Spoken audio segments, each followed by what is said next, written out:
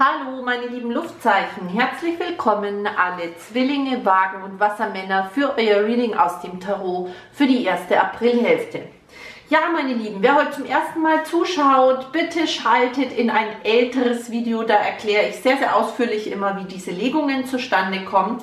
Aber ich möchte die Videos einfach so versuchen, ein bisschen kürzer ähm, zu halten. Ja, deswegen werde ich es nicht mehr ganz so ausführlich erklären. Wichtig für euch zu wissen ist, diese Karten liegen deswegen schon hier, weil ich jedes Mal, bevor ich das Video dann aufnehme, noch eine Meditation über der Legung mache.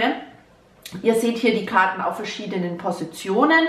Ähm, manchmal seht ihr auch zwei Karten, die wollten dann während des Mischens gleichzeitig aus dem Deck springen. Das erkläre ich euch dann aber alles während des Readings und ich versuche euch jetzt die Energie, die für einige von euch in der ersten Aprilhälfte zur Verfügung steht, denn ich sage gleich, das ist wieder eine sehr spezielle Legung, ja.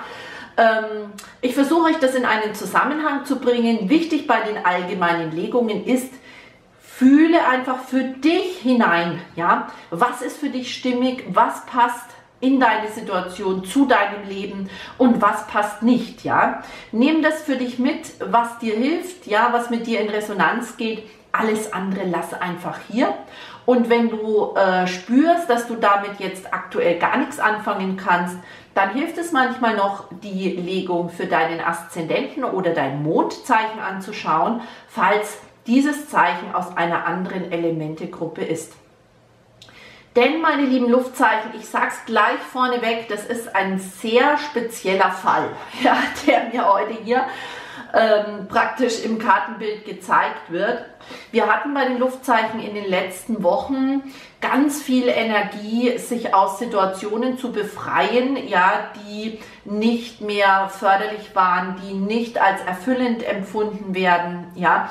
Und hier scheint es jetzt aber um diejenigen unter euch zu gehen, die das vielleicht noch nicht geschafft haben.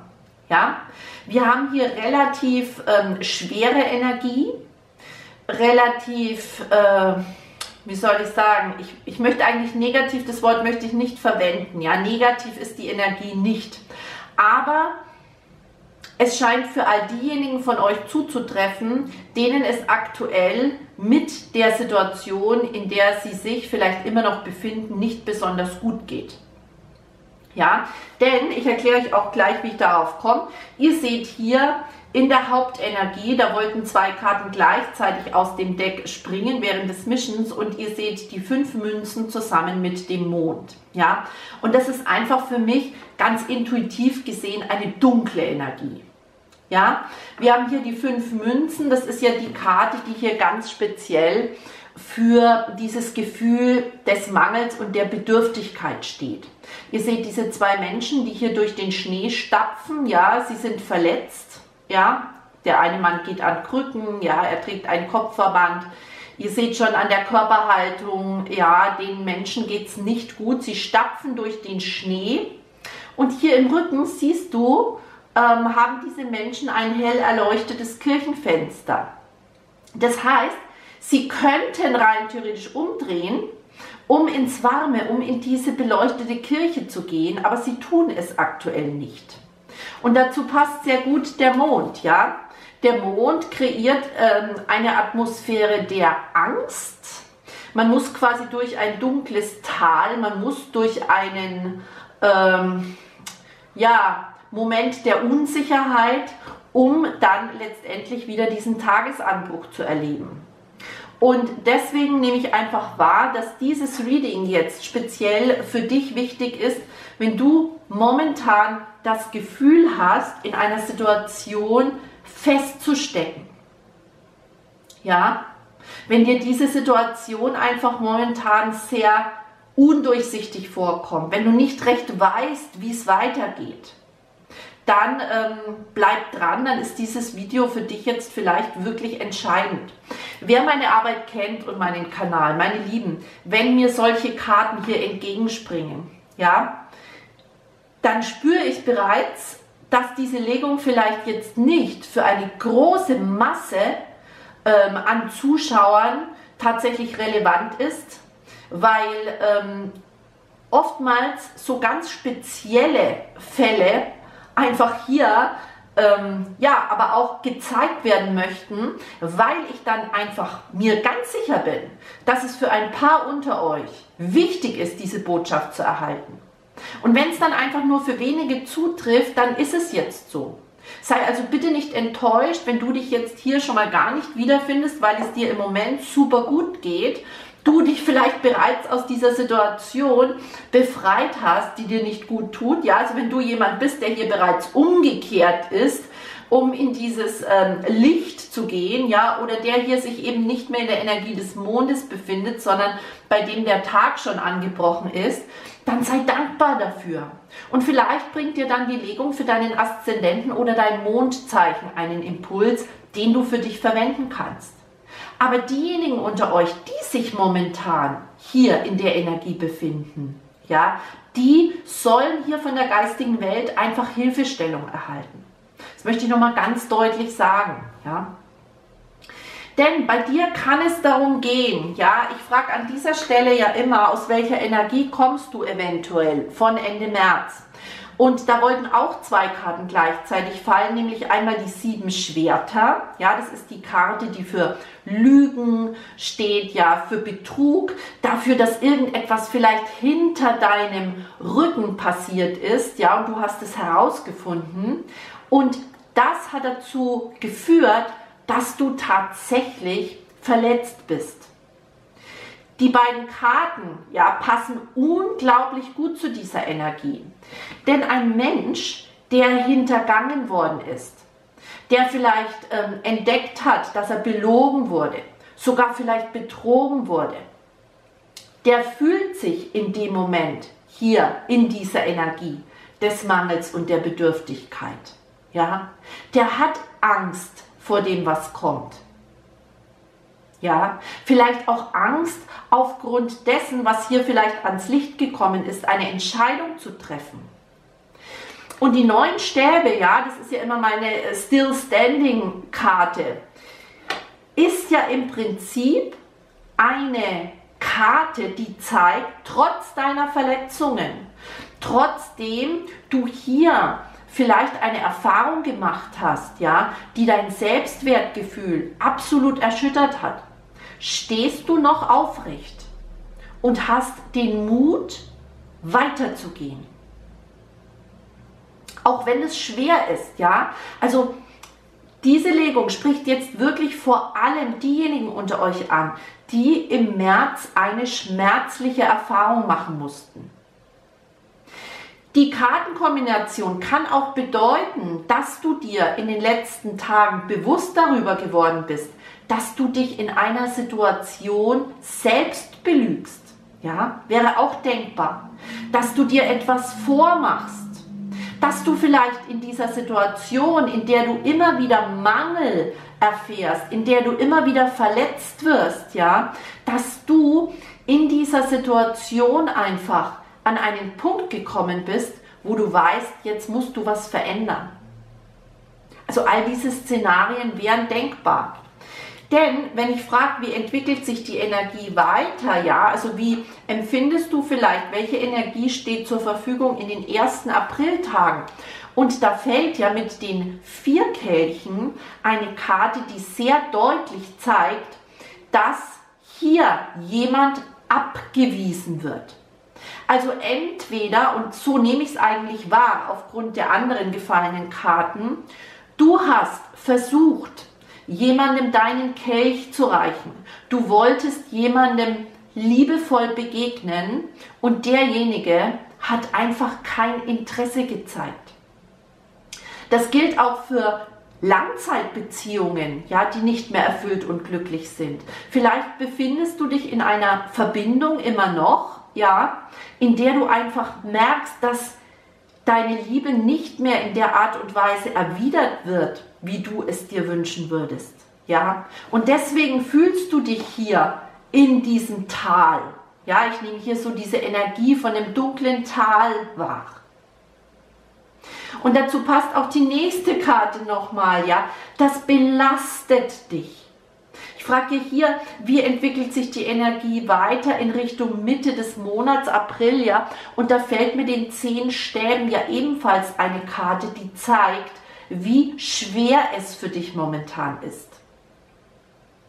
Allerdings, wer die Legungen kennt, ihr wisst, ich frage ja auch an dieser Position hier oben nachher nochmal nach der Energie Mitte des Monats und da greife ich jetzt schon mal ein bisschen auf die hohe Priesterin ähm, vor, quasi, ja. Diese Karte bringt immer auch zum Ausdruck, dass du an der Last vorbeischauen kannst, denn hier vorne, ja, siehst du nämlich das Licht am Horizont. Dieser Mann schleppt diese Bürde, diese Last, diese Stäbe und tut sich unglaublich schwer damit, weil er aber auch direkt mit seinem Kopf nach unten auf die Last schaut.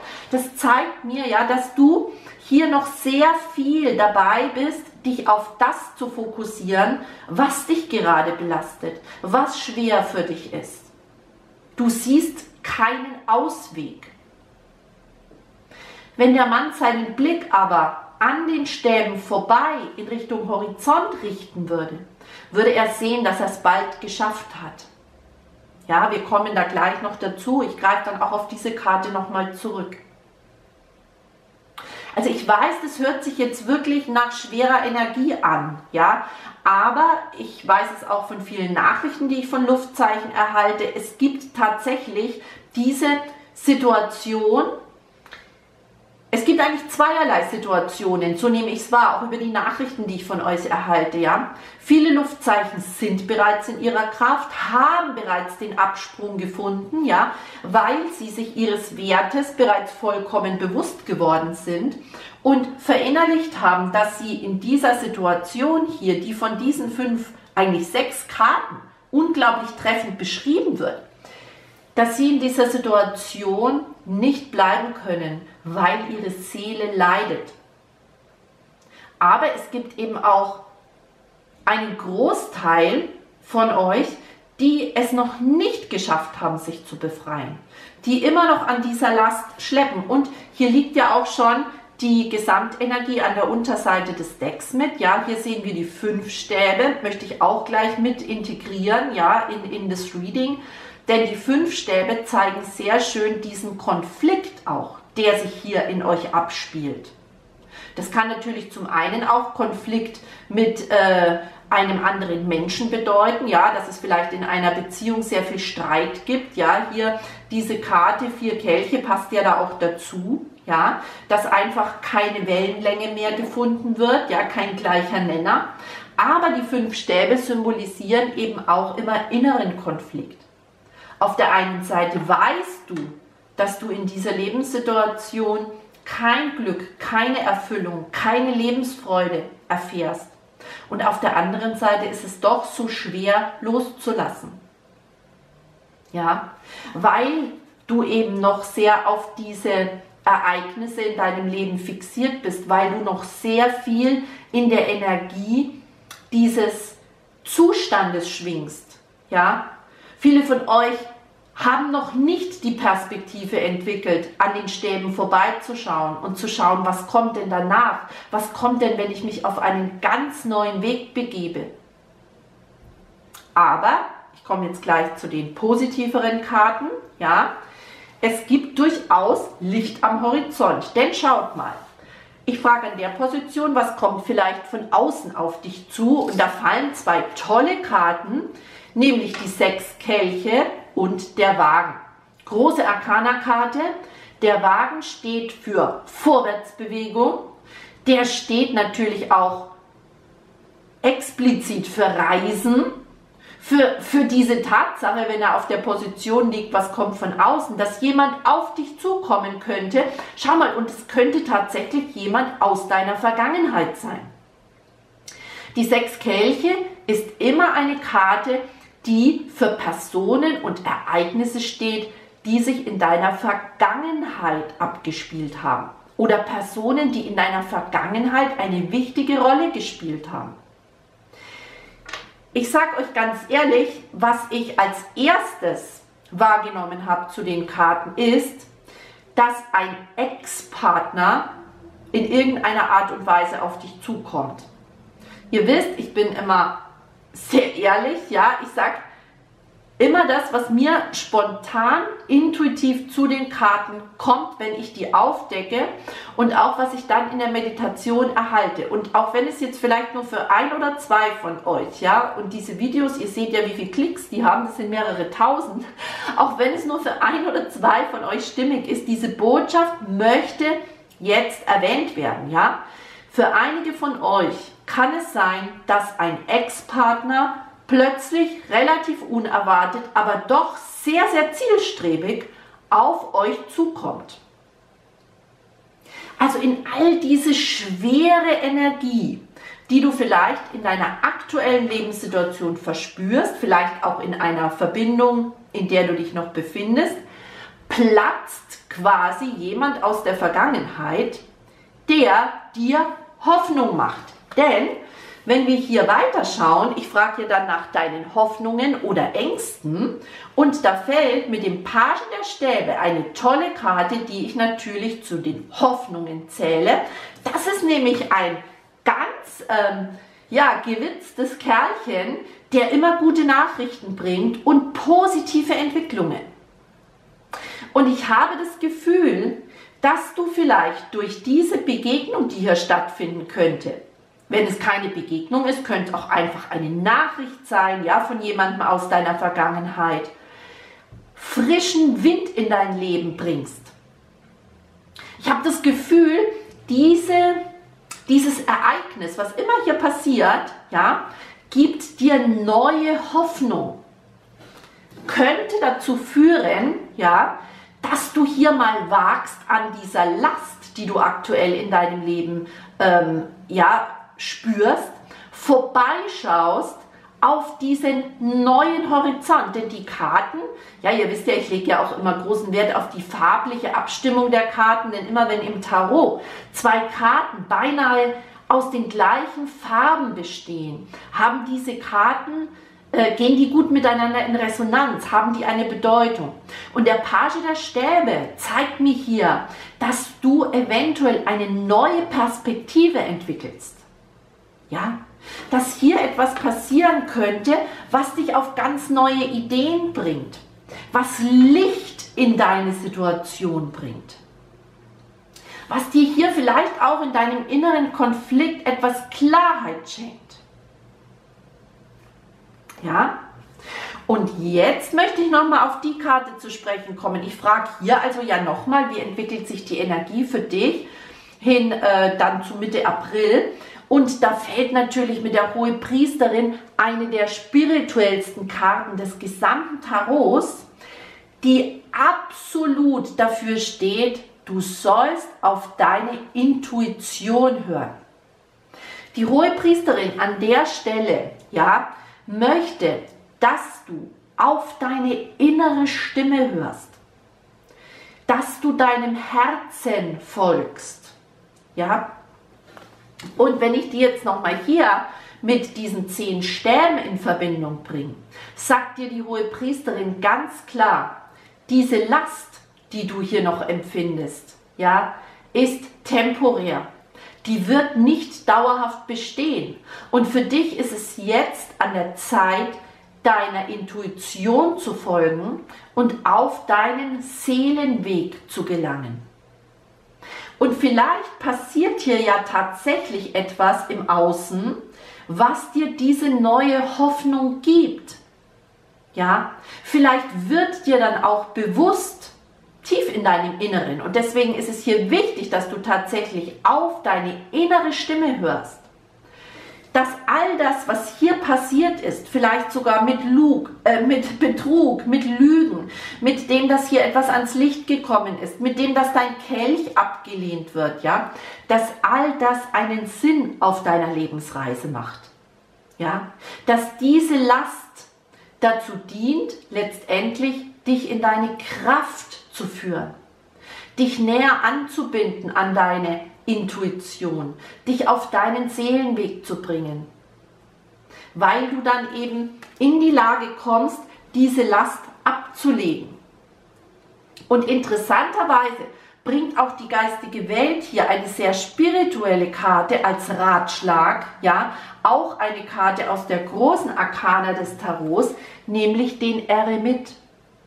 Und der Eremit passt wundervoll zur Hohepriesterin, weil er steht ja für diese Einkehr in dich selbst.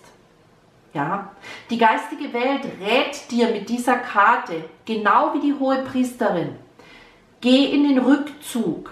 Ja, wenn du dich hier, wie uns diese fünf Stäbe zeigen, in einem inneren Konflikt befindest, was soll ich tun?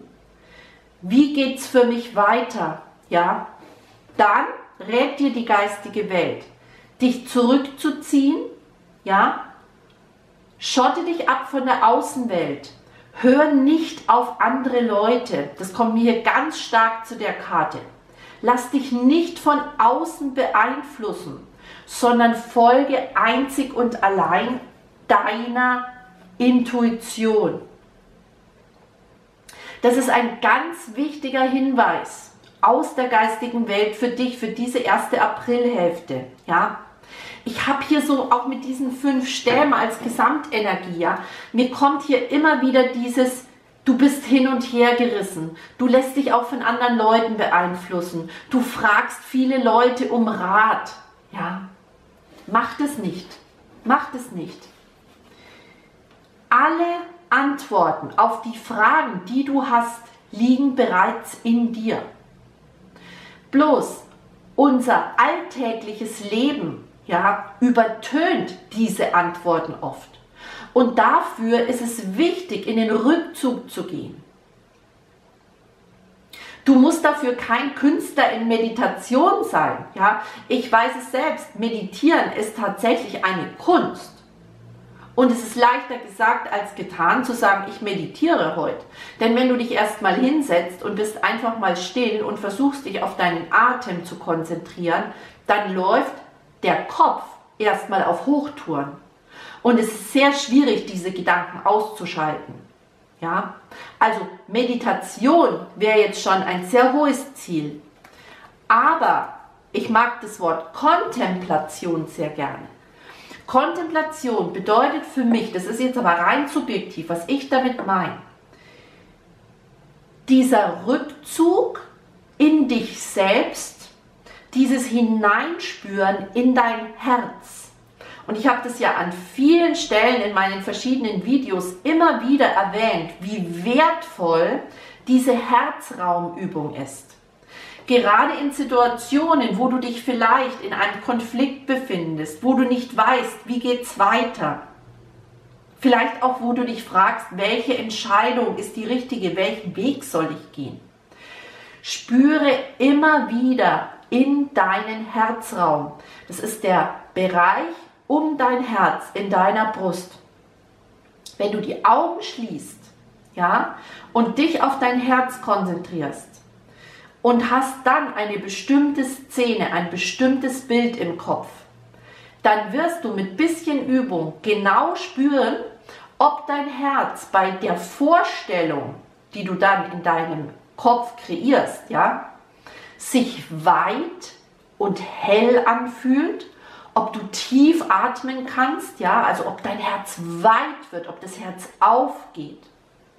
Oder im anderen Fall, ob sich dein Herz zusammenzieht und du eher dieses Gefühl hast, du kannst nicht tief atmen. Es fühlt sich eher dunkel an. Und dann folge dem Bild oder der Vorstellung oder dem Weg, bei dem sich dein Herz weit und hell angefühlt hat, bei dem du tief atmen konntest. Ja? Und genau diese Arbeit in Anführungszeichen empfiehlt dir die geistige Welt mit dem Eremiten. Fokussiere dich immer wieder auf dein Herz. Hör auf deine Intuition. Frage keine anderen Menschen, sondern verlasse dich auf deine innere Stimme. Ja?